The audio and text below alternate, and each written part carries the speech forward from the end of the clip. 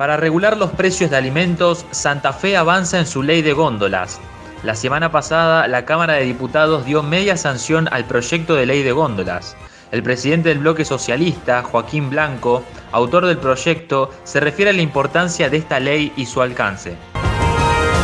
En realidad, a nivel nacional, eh, ya es ley. Eh, hubo un acuerdo entre todos los partidos políticos eh, a nivel nacional eh, se aprobó en diputados de la Nación en el mes de noviembre, cuando era presidente todavía Macri, y en el Senado de la Nación en febrero. Y es una ley que no tuvo ningún voto en contra, ¿sí? En las dos cámaras, con lo cual es una ley que, que ha superado la grieta política que vive la Argentina y que nació con mucha fuerza. Así que esa ley nacional ya está vigente, eh, está trabajando la reglamentación de la misma el ministro Culfas, y, va a estar en vigencia en Argentina a partir de, que surja esa reglamentación. Nosotros lo que hicimos en marzo del año pasado fue presentar la iniciativa eh, local santafesina de la ley de góndolas, que para que la gente lo, sepa, es una ley que busca que haya una real diversidad y una real competencia de productos y de marcas eh, cuando uno va a los grandes supermercados.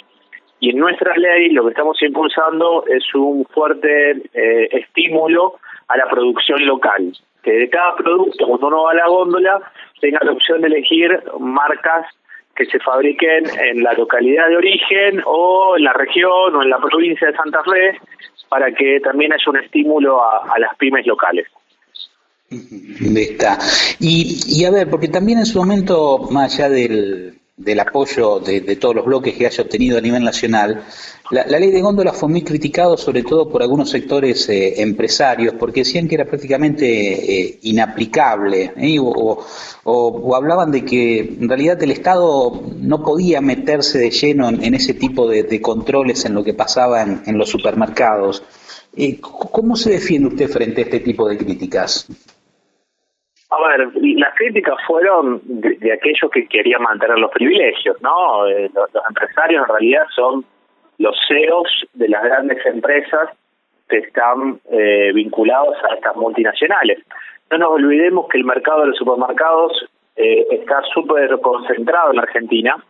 tenemos siete grandes cadenas, cinco de origen eh, extranjero, multinacional, estamos hablando de Carrefour, Walmart, Jumbo, Libertad, que son empresas que cotizan inclusive en las bolsas del extranjero, y dos grandes cadenas nacionales, que es eh, de capitales nacionales, una es Lecoto y otra es la Anónima, y esas grandes cadenas concentran el 60% de lo que los argentinos comemos y bebemos. O sea, el 60% de los alimentos y bebidas se venden en alguna de las sucursales de estas siete cadenas, con lo cual tienen un poder enorme de dominación sobre toda la cadena, tanto para fijar precios a los proveedores como para fijar precios a los consumidores, a, los clientes que vamos y, y nos paramos frente a una góndola.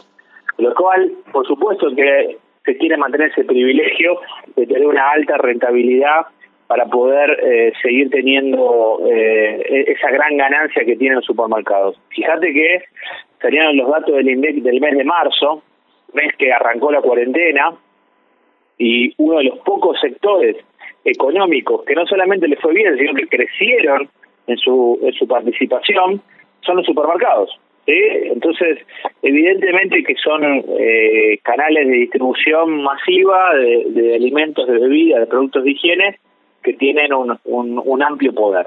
Así que nosotros en la ley establecimos hasta un, plazo para adaptarse, hasta un año para que las cuestiones logísticas, las cuestiones que tengan que ver con la infraestructura de cada local se puedan adaptar, pero también le dimos herramientas al Ministerio de la Producción para que controle, para que multe, para que aplique sanciones ante incumplimiento de la ley. Con lo cual digo, como toda ley que trae cambios, eh, puede haber alguna resistencia sectorial, insisto, es una ley importante que nació con un amplio consenso. Eh, Joaquín, usted evidentemente hace referencia a estas eh, grandes cadenas de supermercados, pero conoce sin duda, sobre todo, que en, la mayor, salvo Rosario, Santa Fe, Venado Tuerto, Rafael y Reconquista, que son los conglomerados más grandes, en, el resto de las poblaciones de la provincia eh, estas cadenas generalmente no tienen presencia y lo que pululan son grandes almacenes, muchos de ellos eh, familiares, muchos supermercados, los llamados chinos. Eh, ¿Esta ley también los involucra a ellos o no? Es muy buena tu pregunta. Nosotros establecimos que no importa el tamaño del supermercado, sino que importa el, poder o, la capacidad de los dueños.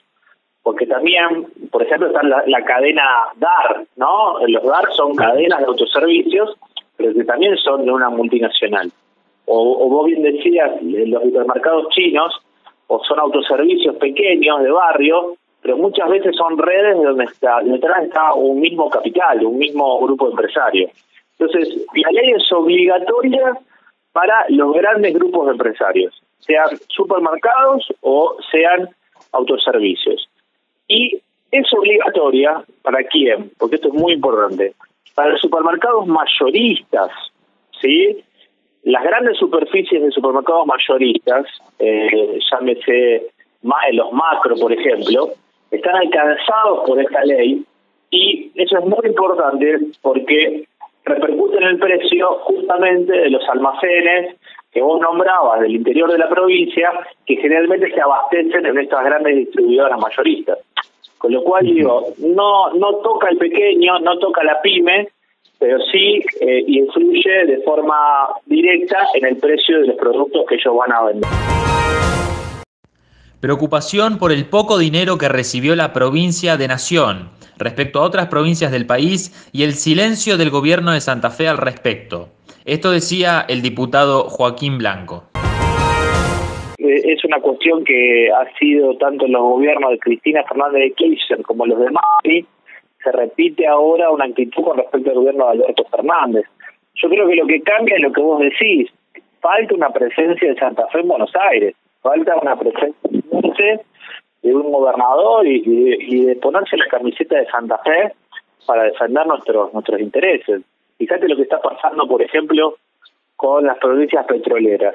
Eh, Neuquén, por ejemplo, hizo un fuerte lobby para conservar el precio del barril del petróleo. Y todos los argentinos estamos con nuestros impuestos subsidiando el barril de petróleo criollo, que lo estamos pagando a 45 dólares, cuando a nivel internacional se cotiza entre 30 y 35 dólares. Esa diferencia la pagamos todos con nuestros impuestos. Y esto hubo un fuerte lobby de la industria petrolera y de los gobiernos petroleros.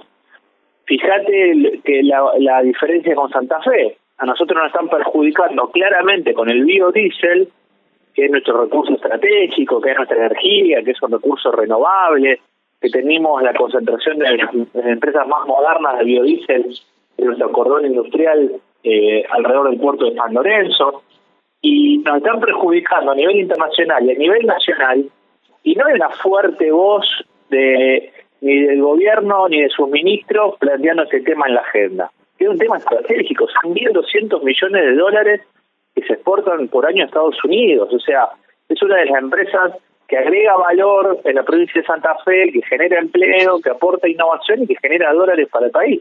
Bueno, como ejemplos como estos tenemos muchos eh, diciendo eh, esta cuestión de fondo. No hay una agenda estratégica de defensa de los intereses de Santa Fe en Buenos Aires y bueno, eso lo estamos pagando todos la situación del transporte urbano e interurbano, señalando que es gravísima, que no tiene antecedentes y que se agrava en el interior de la provincia. Bueno, lo del transporte es realmente un escándalo en el sentido de eh, es histórico el paro este. Y, lo que se viene, que va a ser más grave aún, es el transporte interurbano. El transporte interurbano que conecta, por ejemplo, Cañada de Gómez con, con Rosario, va a sufrir muchísimo también, porque es un transporte inclusive más caro por los por los kilómetros que recorre y por los pasajeros que lleva. Con lo cual, digo, acá hay una crisis sistémica del transporte y si no hay una política nacional, y una política provincial de diseñar ese sistema, estamos en problemas. Acordate que en el mes de diciembre asumió el secretario de Transporte de la provincia, hablando del boleto gratuito para los estudiantes y del tren de cercanías para conectar a Cañada de Gómez con, con Rosario. Bueno, hoy la agenda es completamente diferente, hoy directamente no tenemos transporte. Entonces, me parece que el gobierno provincial tiene que involucrarse más, meterse en este tema y tratar de este, lograr una solución definitiva a esto, porque no tener transporte no solamente es un derecho constitucional que está siendo vulnerado, sino que tiene un impacto enorme en el comercio, porque obviamente los comerciantes que abren después de 60 días de cuarentena eh, se dan cuenta de que los clientes no pueden llegar a sus vidrieras porque no hay transporte público, con lo cual digo, eh, la situación es realmente desesperante y hace falta más vigor y más energía en el gobierno provincial para ponerse al frente de este tema. Y, la última consulta que le hacemos, Joaquín, eh, hay, hay, una serie de, una batería, llamémosle, de, propuestas que, que, podrían significar este, una mejora o en todo caso tratar de paliar la situación para las pymes, para los comercios que están allí en, en análisis. ¿De, qué se trata esto? Sí, básicamente es una batería de frente progresista que apunta a sostener cuestiones sociales, como es el programa Nueva Oportunidad, para aquellos jóvenes que están excluidos de, la sociedad, ir, ir a incluirlos, buscarlos, e, e, integrarlos, y por otro lado, asistencia a pymes y a comerciantes para apoyarlos con el pago de sus alquileres y con el capital de trabajo. Son iniciativas concretas pensando en eh, reducir daños ante, ante el drama social y económico que supone eh, el, el fin de, va, la salida de la pandemia, ¿no?